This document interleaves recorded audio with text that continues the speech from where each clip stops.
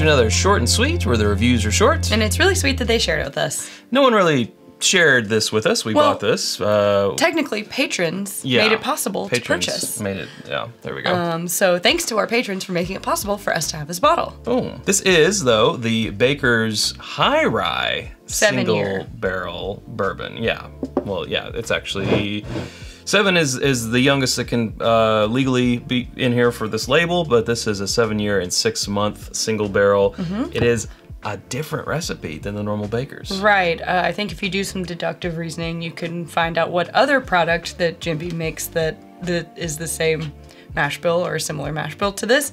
Um, it is 107 proof. It cost us what 75? 75. We got it at the distillery on our on our last bourbon hunt. limited release, Yeah. so I don't know how limited that will be, but from what we understand, it should be out there, mm-hmm. readily, pretty readily available for right now. And if you're not a sleuth or you don't want to go sleuthing, we'll just say that mash bill we're talking about is Old Grand-Dad. That is their higher rye. OGD has bonded, has 114, never 107. So, 107. and also it still gets year. the baker's treatment and the baker's age statement, and you know it's so.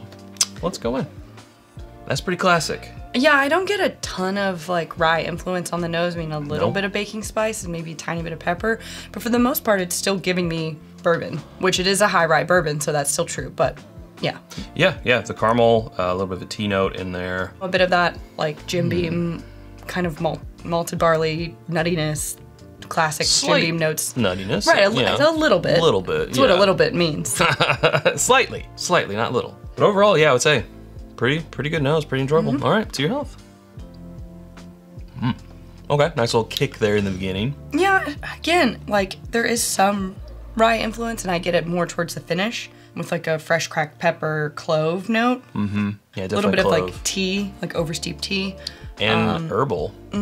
but it's not a ton of rye. I don't know, maybe it's because this bottle has like green trim on it.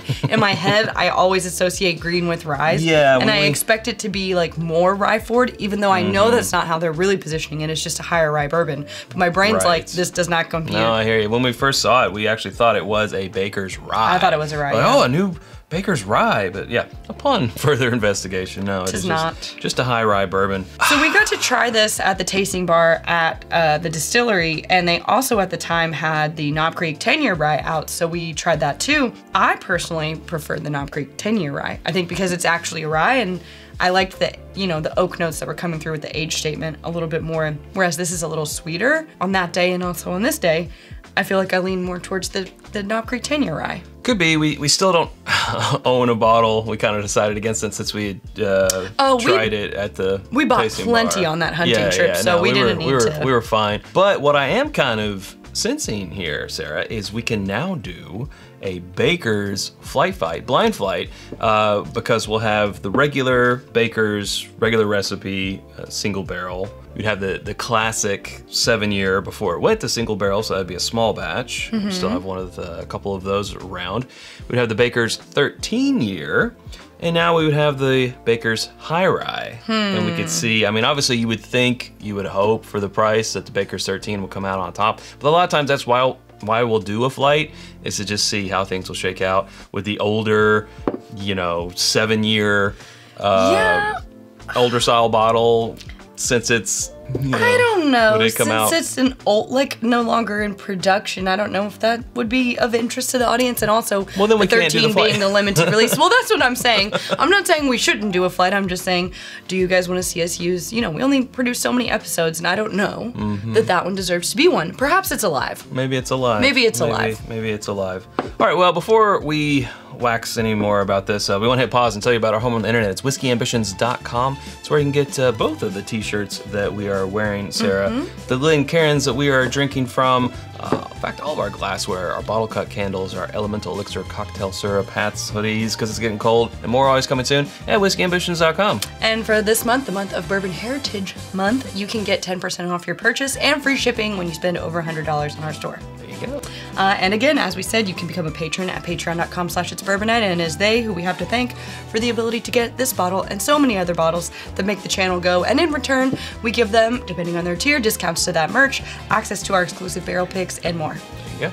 All right, sir, I've had you know two sips of this, and the second year, third, second sip, I, I definitely in, enjoyed it more. That's not unusual. That's just getting acclimated to it. First bourbon of the day, actually. Um, but one thing I, will kind of give it a little ding on is it's not super viscous. It's not a it's not a real rich mouthfeel. It uh, honestly tastes just a tad bit on the thinner side. Is it because of how you associate Bakers with this fancy bottle and this fancy topper is not lining up there for what you expected? Because I think, you know, a seven plus year old product for $75 wouldn't look at, I mean, obviously Booker's is a little bit of a higher proof, but it's going for $100, 110 at the distillery around the same age statement. Mm-hmm. And I don't know that I find them to be that much different. I feel like with the uncut nature of uh, Booker's, it retains it more of the viscosity. Yeah, it does. But still, for thirty dollars less, are you that mad about it? Well, I'm not really mad about it. Uh, and also keep in mind that this is a single barrel. So if we bought another bottle that was uh, mm. came from a different barrel, we might feel differently, even favorably or less results may vary. Results may vary, exactly. So you always have to um, take that into account. And we've seen that in our modern versus yesteryear bottles. Mm-hmm. When a single barrel has come up, there's always been more variancy, I believe, mm-hmm. than just other like small variancy. batches. Variancy. Just variance. No, I'm gonna go with variancy. I don't think that's the word. Sounds a little, a little bit more Sounds five dollar word. Made up. Yeah. Well, all uh, words various. are made up, Sarah. Yes, all words are made up, but I don't believe variancy is in the dictionary. Well, I'm gonna stick with. I would rather have the Knob Creek 10 year uh, rye at 100 proof, so just seven proof points lower, five dollars cheaper. It was 70 at the distillery. Yeah. You get three more, you know, years of age statement. It is actually a rye, but we all know that their rye mash bill is a batch. low rye right. mash bill, and it's a small batch. So you're gonna get more consistency. Mm-hmm. Well, I guess if you do want to see a review of that, it is in the hunting video. It's around the six minute mark. We do a little oh. mini review of the uh, 10 year rye at the tasting bar. So yeah, you... since we can't really talk about it in depth here, you can go or right. just talk about it there. Yeah, there you go. But overall, I mean, I'm I'm fairly happy. Uh, I, I think maybe the excitement of a, of a you know a new mash bill in a you know historic uh, label like Baker's got me kind of excited. And, yeah, I think it's fine. Yeah, I, am not clamoring for another bottle anytime soon. But I'm also you know fairly happy. With it's it. It's all right. Well, there we go. Hey, if you haven't subscribed to us already, you can do so by clicking right up here. There are suggestions of other videos down here. We hope to see you over there in one of those. Thanks, Sarah. Thanks, Chad. Thank you, Patreon. Until next time, drink more bourbon.